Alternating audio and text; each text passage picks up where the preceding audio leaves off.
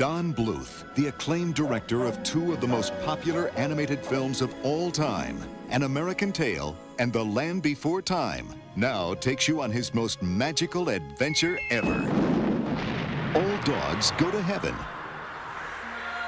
But only one dog ever came back. Hi, Charlie. Hi. Will you shut up? I'm alive. Charlie, it's really you.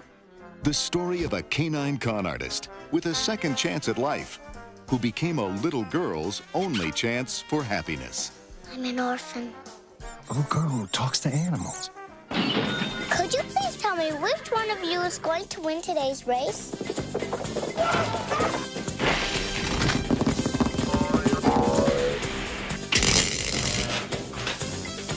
All Dogs Go to Heaven, featuring the voices of Vic Tayback, This is strike two.